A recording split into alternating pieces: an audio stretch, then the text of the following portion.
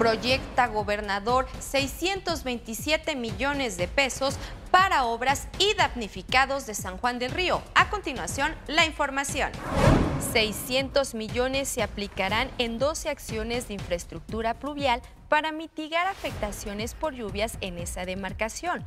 Además, se destinarán 27 millones de pesos en apoyos económicos a las familias afectadas. La secretaria de Gobierno, Guadalupe Murguía, dio a conocer que exhortan a municipios a cumplir con disposiciones en materia de desarrollo urbano. Y además, se otorgarán apoyos de 5 mil a 30 mil pesos a los afectados por las inundaciones en San Juan del Río, reiteró el secretario de Desarrollo Social, Agustín Dorantes. Durante los meses de julio a agosto se han aplicado 2.536 pruebas y en este bimestre bajaron las solicitudes y aplicaciones de pruebas COVID-19 se tuvo un descenso de 484 pruebas COVID, informó la presidenta del DIF municipal de Querétaro.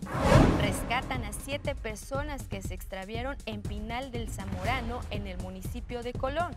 Fueron encontrados sin lesiones y con un cuadro leve de hipotermia y deshidratación. Esta cápsula informativa es presentada por Sushito. No te pierdas nuestra próxima apertura Sushito Centric Anáhuac y también visite nuestro portal andresesteves.mx.